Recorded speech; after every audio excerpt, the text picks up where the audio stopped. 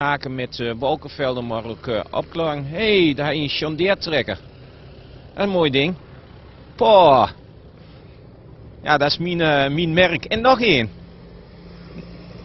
Een 6320. Helemaal goed. Waar was ik ook alweer gebleven? Oh ja, beet weer met...